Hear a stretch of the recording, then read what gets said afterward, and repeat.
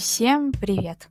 В этом видео мне бы хотелось поделиться с вами своим дипломным проектом, а точнее настольной игрой, которая называется «Домик в Сибири».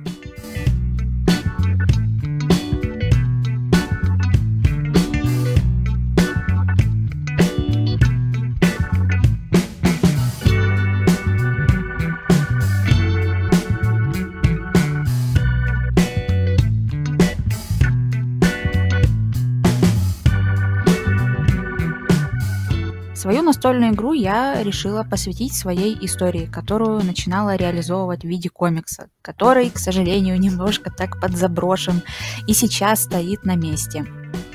Я взяла уже готовых персонажей, концепт и визуал. И домик в Сибири — это лес, это зима, а защита у меня была в декабре, так что я думаю, это было прям в тему процессе, конечно, намучилась тем, чтобы готовый сюжет подстроить под механику игры, которая, к слову, дважды успела поменяться, но зато результат вышел отличным. По итогу у меня получилась игра-бродилка, где нужно подкидывать кубик, переставлять своего героя, за которого играешь, и тянуть карточки с действиями или вопросами. Сейчас на видео я показываю комплектацию игры. Здесь у нас инструкция, миниатюрные фигурки и самодельные подставки для них, карточки персонажей, кубики, карточки с вопросами и действиями и игровое поле. Я взяла готовую механику у другой существующей игры и немного ее адаптировала под э, свой концепт. У нас есть главные персонажи, которые так или иначе имеют отношение к сибирскому лесу, и есть наглый птыц. Это лесной дух, который любит шкодить и наводить беспорядки, а также тырить чужие вещи. Да. В правилах игры я выделила одну страничку, где прописала сюжет. Игрокам нужно догнать этого птыца и вернуть обратно в домик лесника, чтобы он вернул все вещи, которые успел стыбзить из этого самого домика. В игре 8 персонажей и один птыц, которого игроки должны подхватить по пути и доставить на базу, то есть в дом лесника. Могу сказать, что собирать вот эти миниатюрные фигурки оказалось очень непросто.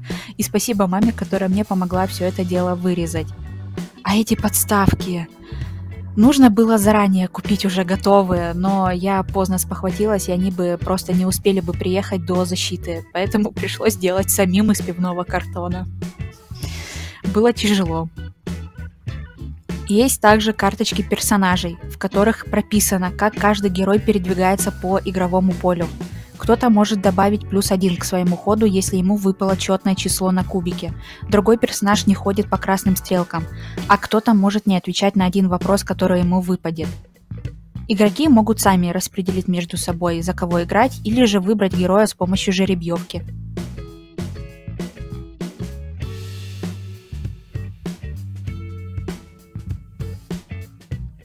Пожалуй, самое интересное в этой игре и самое объемное по реализации – это карточки. Они двух видов. Первые – это карточки действия, у которых рубашка выполнена под дерево, а вторые – карты с вопросами, у которых рубашка выполнена под лед. Эти карты игроки берут тогда, когда они попадают на особые клетки игрового поля, то есть на клетки, где изображены стрелки и знаки вопроса. Всего пришлось нарисовать 40 таких карт.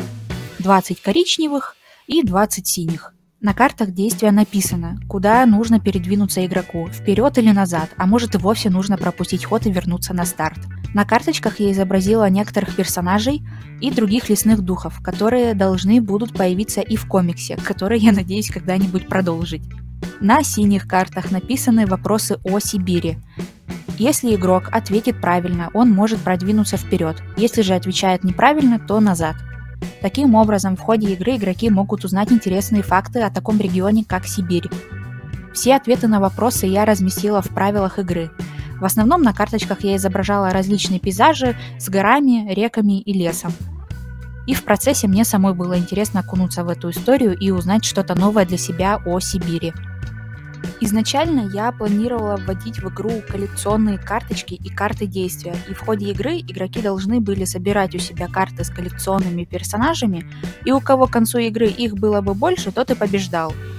Однако, когда у нас был предпросмотр наших проектов, в ходе обсуждений мне пришлось от этой идеи отказаться и ввести познавательный элемент в игру. Мне было довольно тяжело отказаться от своей старой задумки. Я уже успела отрисовать к тому моменту 8 коллекционных карт, которые делились на два вида. И мне знатно пришлось поломать еще и голову, чтобы подобрать другую механику, чтобы при этом персонажи оставались канонными относительно моего комикса, так как мне тяжело было бы менять концепт своей идеи.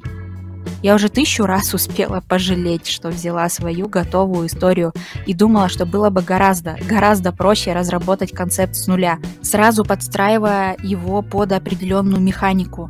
Но могу сказать, что изменения, которые я внесла по итогу в игру, сыграли только на руку. Игра значительно стала лучше и интересней.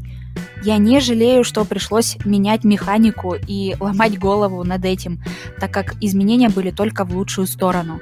Да, работы мне добавилось. Нужно было отрисовать в разы больше карт и рисовать еще и дополнительные карты персонажей, которые изначально я вообще не планировала. Да, нужно было подбирать интересные вопросы для новых карт, но оно того точно стоило. Так что я очень довольна тем, что у меня получилось дожать свою разработку. Самое простое, что есть в этой игре, это игральные кубики, которые я заказала на Валберисе. Единственное, я хотела подобрать цвет, который бы подходил к общей палитре игры, но это было вовсе не сложно, и я сразу нашла вот такие синие кубики. И самое большое в этой игре – это игровое поле. Я посмотрела не один видос про то, как люди в домашних условиях делают игровое поле. На мое счастье, у меня уже был дома пивной картон и именно нужного мне размера. Это был формат 30 на 40, который я поделила на 4 части. И оно прям идеально вошло в ту коробку, которую я, кстати, тоже заказала на Валберисе. Отрисовку карты я оставила на самый конец, и времени уже оставалось не так много. Я даже прибегала к помощи нейросетки. Я сначала полностью отрисовала карту сама, загрузила изображение в одно приложение, где была функция с искусственным интеллектом, и там мне оно выдало отредактированное изображение, которое мне подсказало, какие лучшие цвета стоит подобрать, и я после стала дорабатывать все это дело и смогла уложиться в сроки. Единственное, я думаю, что можно было чуть лучше прочитать размер клеток, чтобы персонажи на них лучше помещались. И у меня есть один косяк, я добавила в одном месте зеленую стрелку, которая оказалась лишней. Но это выяснилось только после того, как у меня получилось сыграть в собственную же игру, а это было уже после защиты. Но, думаю, ничего страшного в этом нет. С обложкой коробки я тоже поломала голову. Изначально я хотела красиво на ней изобразить сам домик в Сибири. Отрисовала аж целых две полноценных картинки, но одна из которых потом пошла, кстати, на печать открытки. Но мне в итоге их не согласовали. Нужно было на обложку поместить крупный логотип и элементы самой игры. То есть карточки и птыца в данном случае, а, чтобы у потенциального покупателя было лучшее представление о том, что ждет его внутри этой коробки в самой игре. И могу сказать, что результат тоже вышел хорошо. Клеить это дело снова было большим геморроем, к сожалению. Да, я распечатала части изображений и наклеила сверху на уже готовую коробку. Зато она получилась довольно плотной – и снова спасибо маме, что помогла мне со всем этим делом. В одиночку это делать было бы значительно сложнее. Вот такие дела. По итогу я на отлично защитила свой дипломный проект. Меня даже похвалили. Какая я молодец. И у меня теперь есть вот такой красный красавчик. Для справки, я училась четыре с половиной года, очно-заочно, то есть по вечерам в основном ходила учиться, на коммуникативном дизайне в Донском государственном техническом университете. То бишь кратко ДГТУ. Хочу сказать спасибо моим преподавателям и дипломному руководителю, которые направляли и наставляли нас на протяжении этих лет. Я очень рада, что у меня по итогу вышло столько классных проектов – у меня даже есть отдельное видео на канале, где я показываю то, что мы делали по учебе. Это было классное время. На этом будем заканчивать. Спасибо, что посмотрели данное видео и послушали мою интересную болтовню. Всем добра, счастья, любви и вдохновения. Всем пока!